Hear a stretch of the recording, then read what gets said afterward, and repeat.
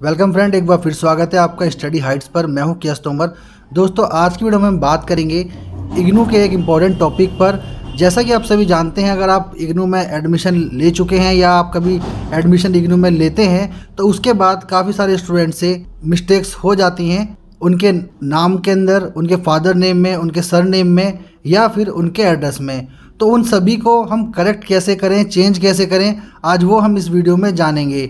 तो इसके लिए आपको मैं लेके चलता हूँ स्टूडेंट अड्डा की वेबसाइट पर। अभी आप स्टूडेंट अड्डा की ऑफिशियल वेबसाइट पर हैं।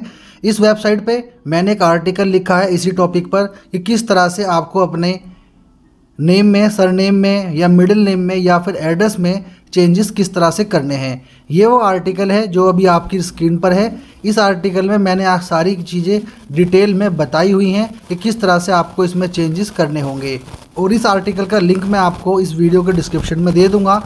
सो सिंपली आपको यहाँ पर now correction changes in your IGNOU degree is possible पर क्लिक करना है।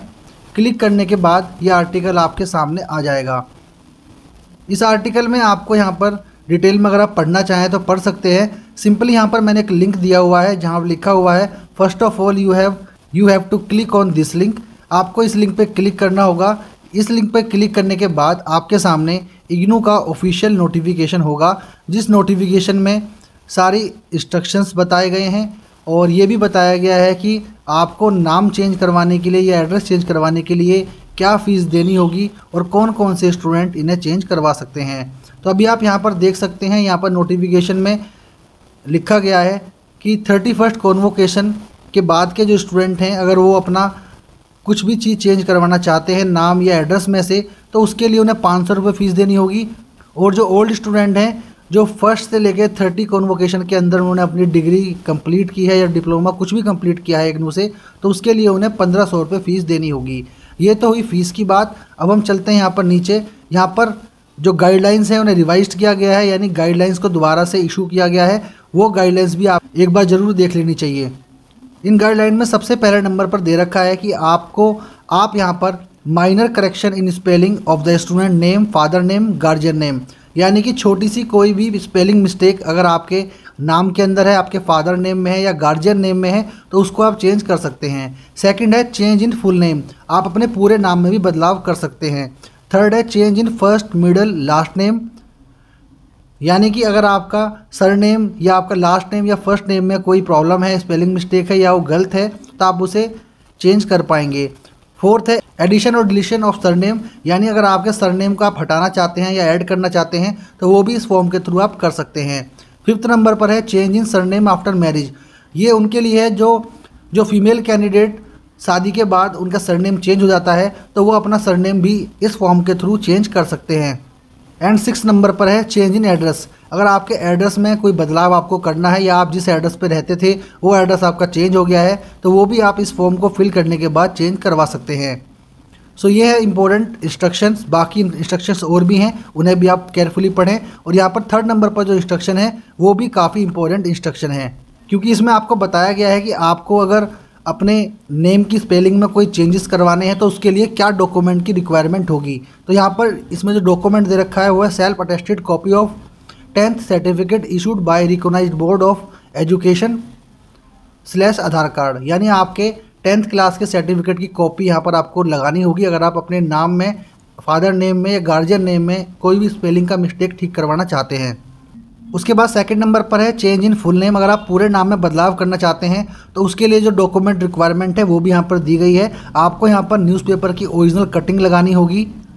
यानी कि आपको एक न्यूज़पेपर में एडवर्टाइजमेंट देना होगा और उसकी कटिंग को आपको यहाँ पर लगाना होगा।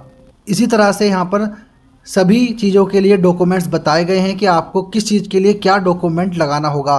तो आप इसको केयरफुली पढ़ लें, क्योंकि मैं सारी बातें अगर आपको बताऊँगा तो वीडियो काफ़ी लंबी हो जाएगी, इसलिए ये नोटिफिकेशन आप जो मैंने लिंक बताया था, उस पर क्लिक करके देख सकते हैं और सारी चीज़ें डिटेल में पढ़ सकते हैं। उसके बाद आते हैं हम एप्लीकेशन फॉर्म पर।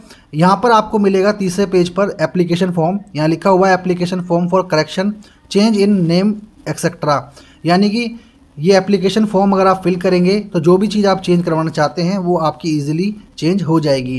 यहाँ पर ब्रैकेट में दिया भी हुआ है guideline are given overleaf please go through them carefully before filling up the form यानी कि फॉर्म को भरने से पहले गाइडलाइन को आप अच्छी तरह पढ़ लें, जो कि अभी मैंने आपको बताया था।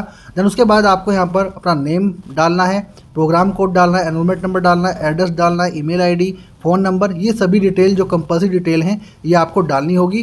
फिफ्थ नंबर पर है मंथ और year of completion of program यानी जिस मंथ और ईयर में आपकी डिग्री या सर्टिफिकेट प्रोग्राम कुछ भी कंप्लीट हुआ है, उसका आपको मंथ और ईयर यहाँ पर डालना होगा।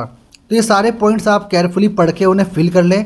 उसके बाद सातवें नंबर पर जो पॉइंट है वो काफ़ी इंपॉर्टेंट है। यहाँ पर ही आपको वो चीज़ मेंशन करनी है कि आपको क्या चेंज करवाना है। सेवन नंबर पर जाने के बाद आप ए पॉइंट में आएँगे तो आप देख सकते हैं, यहाँ पर लिखा हुआ है minor correction in spelling of the student name father name guardian name तो आपको यहाँ पर जहाँ लिखा हुआ है name reflected in grade card इस वाले ऑप्शन में आपको नीचे यहाँ पर अपना नेम भरना होगा, जो आपका ग्रेड कार्ड में है, जो आपका गलत है, वो आपको यहाँ पर भरना होगा। उसके बाद इसी के सामने दे रखा है correct name in block letter यानी कि जो आप नाम एक्चुअल में आप करवाना चाहते हैं, वो आपको यहाँ पर नीचे इस वाले बॉक्स में फिल करना होगा, वो भी कैपिटल लेटर के अंदर। उसके बाद बी पॉइंट में यहाँ पर दिया है चेंज इन फुल नेम अगर आप पूरे नाम में बदलाव करना चाहते हैं तो आपको इस ऑप्शन में उसे फिल करना होगा। यहाँ पर आपको वो नेम भरना होगा जो फ़िलहाल आपके ग्रेड कार्ड में या डिग्री में मेंशन है। उसके बाद इसी के सामने जो आपको करेक्शन करने के बाद जो नाम अपनी डिग्री या सर्टिफिकेट में देखना है, वो आप यहाँ फिल करेंगे। देन उसके बाद नीचे अगर आप चलते हैं तो यहाँ पर सी पॉइंट में आपको मिलेगा चेंज इन फ़र्स्ट मिडल और लास्ट नेम अगर आप फ़र्स्ट मिडल और लास्ट नेम में चेंज करना चाहते हैं तो आपको ये कॉलम भरना है। अगर आप कुछ चीज़ ऐड या डिलीट करना चाहते हैं तो आपको डी पॉइंट भरना है।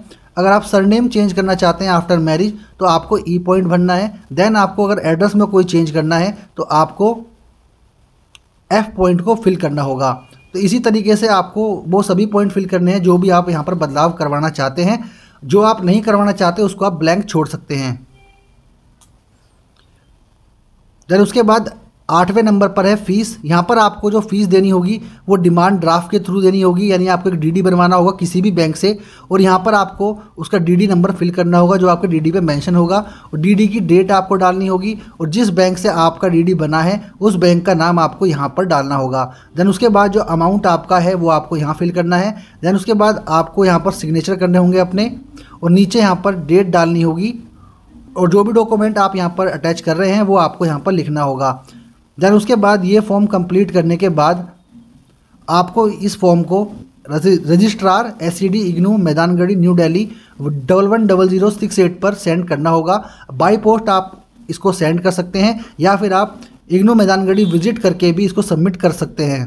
सो so, ये फॉर्म सिंपली आप डाउनलोड करके प्रिंट निकलवा लें इसका और उसके बाद फिल करने के बाद इसके साथ जो डॉक्यूमेंट्स आपके रिक्वायर हैं वो डॉक्यूमेंट लगाएँ और आप इसे बाई स्पीड पोस्ट या या मैदानगढ़ी जाकर सबमिट करें। उसके बाद 15 टू 20 डेज़ के अंदर आपके नाम एड्रेस या सर नेम जिसको भी आपने चेंज करवाया है उसमें चेंजेस आपको देखने को मिल जाएँगे। सो आई होप ये वीडियो आपके लिए हेल्पफुल रही होगी। सो so, प्लीज़ चैनल को सब्सक्राइब ज़रूर करें वीडियो को लाइक करना ना भूलें। मैं मिलूँगा आपसे नेक्स्ट वीडियो में एक नए टॉपिक के साथ। तब तक अपना ध्यान रखें। Thank you so much for watching